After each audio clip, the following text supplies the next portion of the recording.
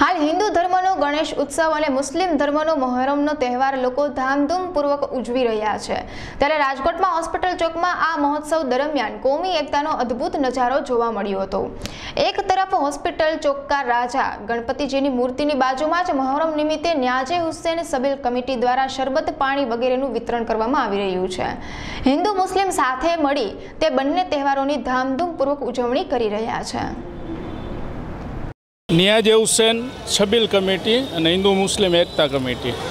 આપણે જ્યારે વાત કરીએ તો અત્યારે મુસ્લિમ ધર્મનો પણ અત્યારે તહેવાર છે અને હિન્દુ ધર્મમાં પણ ગણેશ ઉત્સવની ઉજવણી કરવામાં છે. ત્યારે અત્યારે આપણે બંને સાથે ઉજવણી કરવામાં આવે છે તો શું કહેશો?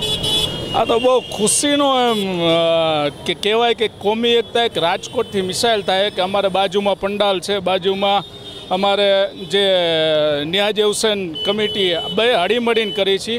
અને સાંજે જે આઠ, સાડા આઠે જે આરતીનો સમય થાય ત્યારે અમારે અહીંયા છબીલનો ટેપ બંધ કરી દઈએ.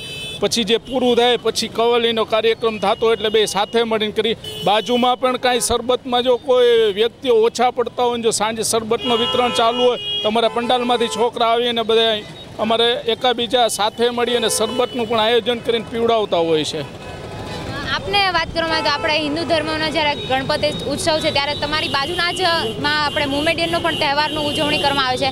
તો સાથે મળીને આપ કરો છો તો કેવું લાગી રહ્યું છે? અમને બહુ ખુશી છે કે ભાઈ આ એક કોમી એકતામાં જળવાઈ રહે અને સાથે મળીને આ બે ધાર્મિક કાર્યક્રમો જે ઉજવે છે એ બહુ સરસ કામ છે અને છોકરાઓ પણ મળીને કામ કરે છે. જ્યારે અમારે આ પંડાલ નાખવાના હતા ત્યારે અમે સાથે મળીને બે જગ્યામાં કે ભાઈ આ બાજુ તમે ને આ બાજુ અમે એટલે સંપીને કામ કરે છે. આ ધાર્મિક ઉત્સવ ઉજવવાની સંપી અને કામ કરવાથી બહુ આનંદ અને ઉત્સવ પણ સારી રીતે ઉજવાય અને ધાર્મિક લાગણી અમને જળવાઈ રહે, બહુ ખુશી થાય છે.